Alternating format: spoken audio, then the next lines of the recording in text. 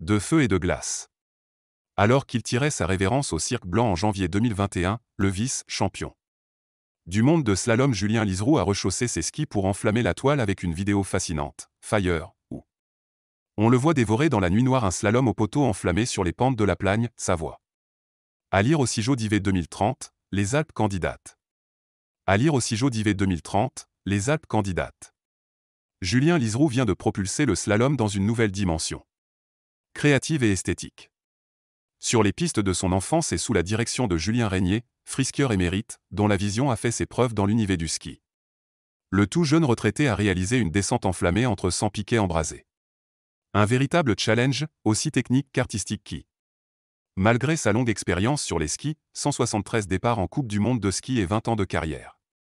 Ami le skieur à rude épreuve, s'est lancé dans la nuit noire avec pour seule lumière celle des torchers est une expérience on ne peut plus délicate. Je devais à la fois gérer l'inconnu, l'appréhension de ne rien voir entre les piquets et le risque du feu. Relate T. Il.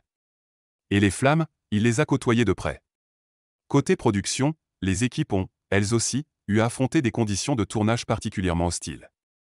Nous avons eu besoin de deux nuits de test avant d'avoir la bonne technique d'allumage des piquets, ainsi qu'une bonne soirée de réglage pour gérer le faible éclairage et le pilotage du drone, que l'on a eu du mal à caler à cause du manque de repères au sol, explique le réalisateur Julien Régnier. Avec ce projet inédit, les deux hommes nous démontrent que les vidéos créatives sur la neige ne sont pas uniquement l'apanage des disciplines alternatives. Que le ski racing a aussi son mot à dire.